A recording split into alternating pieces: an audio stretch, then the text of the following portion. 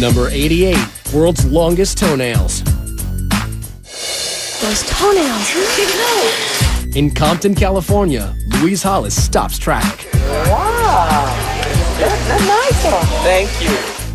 She loves her nails so much, she even chose them over her husband. He was so upset at the attention that they attracted, and he told me, nails go or I go. I said, well, I've had you for 22 years. You can split. But she kept her Guinness World Record for the longest nails 10 toenails totaling 87 inches.